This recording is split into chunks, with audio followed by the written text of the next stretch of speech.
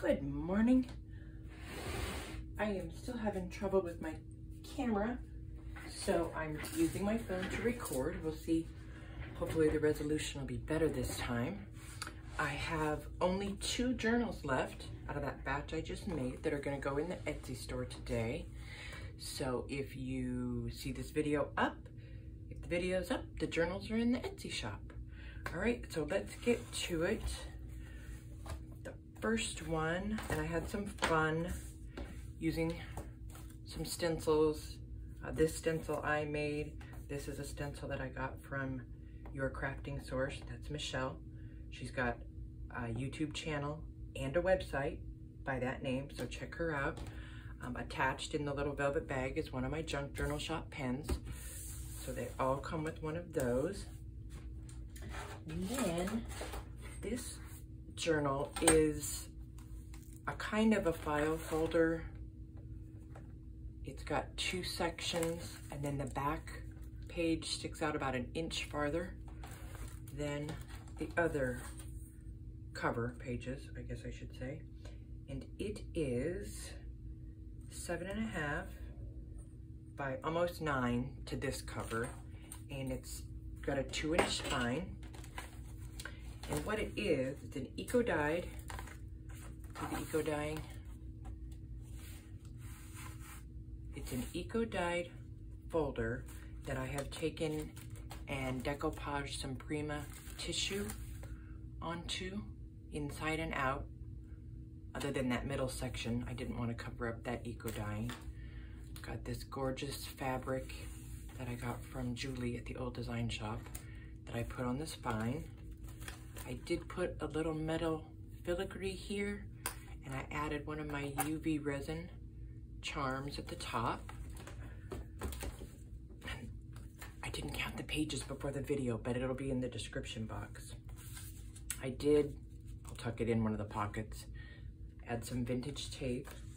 So here you can see, if, if you look close, you can see the eco dyeing behind here. There's prongs here so that you can add tea-dyed paper or ledger paper, anything you want to write on. I'm just going to do a quick flip. There are a few fun things in here. This is a paper clip. Pam at Pandora's Junk Journals makes these. She curls the edges and puts little beads and charms on them. And this is just a grungy, um, all different size papers because this is such an odd shape. I was able to use up some larger ledger pages, pages that I had. This is 11 by 17 tea-dyed paper cut down. I did do some stamping, added some ephemera. I love this ledger page. It's from 1882 and it's got this little flip. See, they were tipping stuff in before we ever knew what it was. This is a um, folio out of an old book about bookbinding. There's a little slow stitch patch from Pam, an old glassine bag with a vintage ticket. There's another page from the bookbinding book. One of Timmy's new people. I just think they're so cute peeking out of pocket. This is that fun ledger that I got that had a tab on every page. And I did some stamping. There's just all kinds of fun bits tucked in there for you to collage with. These little pages, you know, you can journal on them or whatever, but you can also use like the vintage tape or even a stapler if you wanted to add to them and make them longer. I just like the little, the little bits. Listen to that crinkle. Some more ledger that fit perfectly. And to be continued. And then here's the center and it has the prongs on that side and that side, but I just wanted to leave the eco dyeing.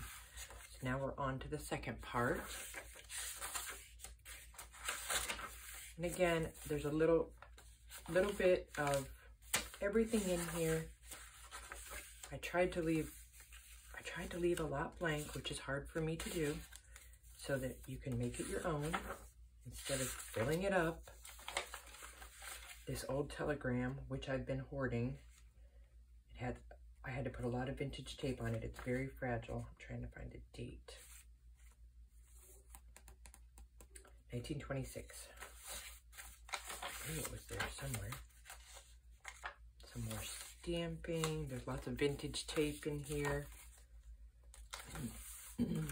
There's one of the French advertisements and a journaling tag.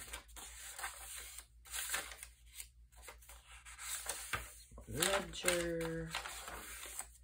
And this is a pocket. This was made by Pam also. It was in a, giant ephemera bundle that I purchased from her.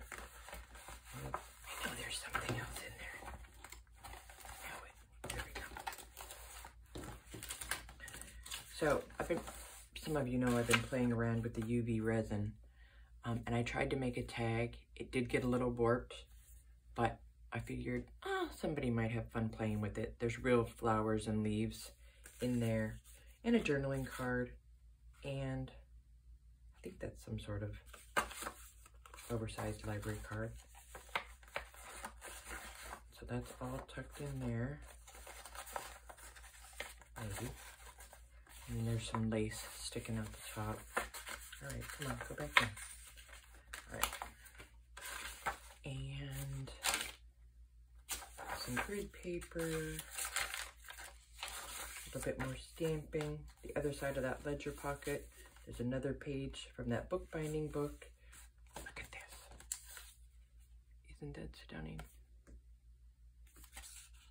Pam sent me that. And then here's the back, in the back. And then if you look, you can see the eco dyeing. I hope how that butterfly fit right almost center on that page. So there's that one. Oh, I still need to tuck that in there. All right, and it, it'll fit nicely in its muslin bag.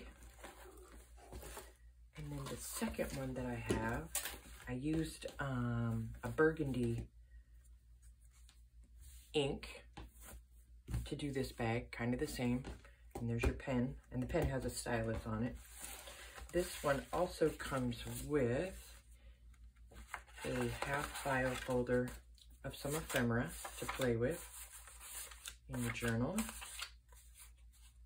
There's some Timmy stuff, library cards, and I don't see any, don't see any vintage tape in there. Let's let's look inside.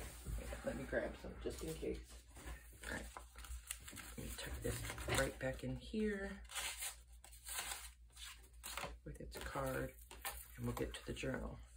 So this again is an eco-dyed file folder that I had used the Prima tissue on. There's a ball pin just clipped on the top here, so if you don't like that there, but I just, I love the pearls hanging over her face. And I used the burgundy to try and pull out the red in her lips. So there's the front and the back. When you open this one,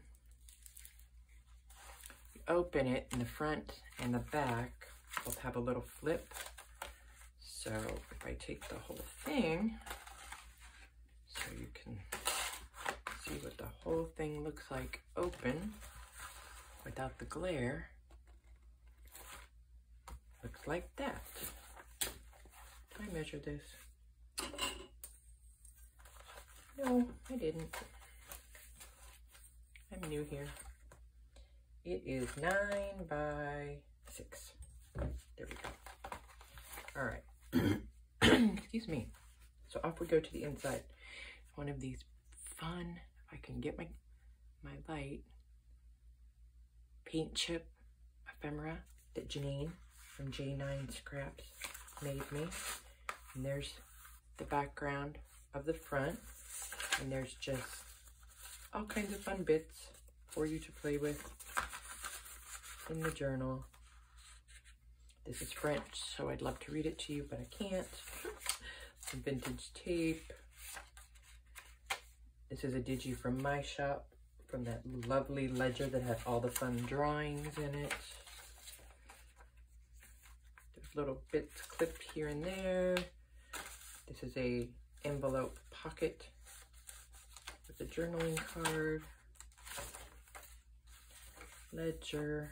This was an official Navy photograph envelope. I just tucked a tag in there. Oh, there's some ledger paper in there also. Class of 48. And then. I didn't want to mash this up in a signature, so I just glued this part down. 1897 to 1901, President of the United States. And then folded it in there, like, like so. Oh, just one second. My camera went away, I couldn't see it. There's a little flip here. This is an eco-dyed envelope.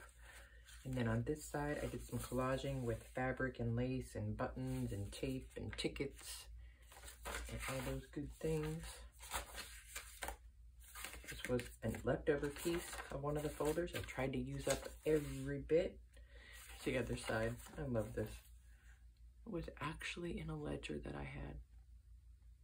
Isn't that amazing? There were some amazing and disturbing um, drawings in that ledger. But they're digis in my Etsy shop. There's just a little bookmark tucked in that side. There's a little doily tucked in. There's a ledger index card. The page of the codfish ledger tucked in there. So there is that one, and you just fold it and fold it, and then tie the bow back up, which I will do after. And there's that one. So those are going in my Etsy shop, and I hope you guys enjoyed the flip through. Thanks for watching the video. And I always forget to say, please be sure to like or leave a comment because we have found out that if you don't leave comments on videos, that's why YouTube unsubscribes you to channels. So I would appreciate that. All right, you guys, everybody have a great day. I'm gonna go throw these in the Etsy shop and get this video up. And I will see you soon, I hope.